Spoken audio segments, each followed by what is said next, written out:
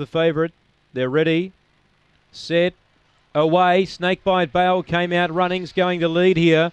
Second, Lectra Rancher. Ultima Bale went up to third, about two lengths away. Back on the inside, Runkle. And uh, last of all, there at the back, Sunnyside J. Down the back, Snakebite Bale's often gone here. Led by eight lengths in second, Lectra Rancher. Runkle goes for the inside, Sunnyside J. And Ultima Bale's a clear last, but Snakebite Bale, it's a mile in front. It's going to kill them.